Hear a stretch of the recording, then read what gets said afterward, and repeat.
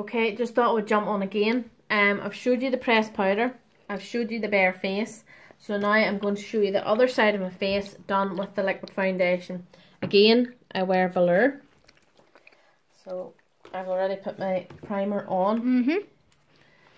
So because I'm only doing half a face, um, I'll only need a couple of drops. Um, you don't need a lot. So I'm going again. I'm going to have to go in close to the camera, close to the mirror even because I can't see. Okay, so you just dot all over your skin and then work it in in circular motions. Mhm. It goes on a liquid and dries to a powder. Now you may find in um if you have redness like me, Mm-hmm. you might be better to add a few drops of concealer beforehand or you can just add an extra few drops of um don't come too close you don't want to scare everybody um you can just add a couple of extra drops um of foundation so you just keep buffing it in I like the word see, buff. buff Buff. I have um Look at my a wee bit extra redness there so I will just put a wee drop. Sometimes I would just um put a wee drop of concealer on the brush whenever I'm doing this. Yeah. Um, but it's just so that you can see the difference between the two finishes. Can we see the wee brush a minute? Oh, this is just my wee brush. Yeah. Just make sure you buff it in. And please do not leave yourself with the tide mark because that really is my biggest bugbear. I'm going to put this... No, no, no, no, no. You keep there. Go back a little bit. She's using our awesome mirror that we have. So, So, does she look beautiful?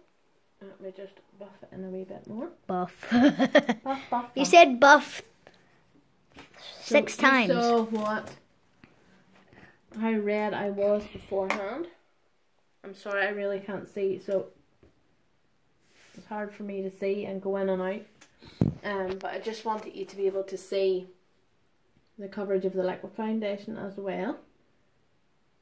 So you have to look like really close to it. I do have to go really close to it. I know.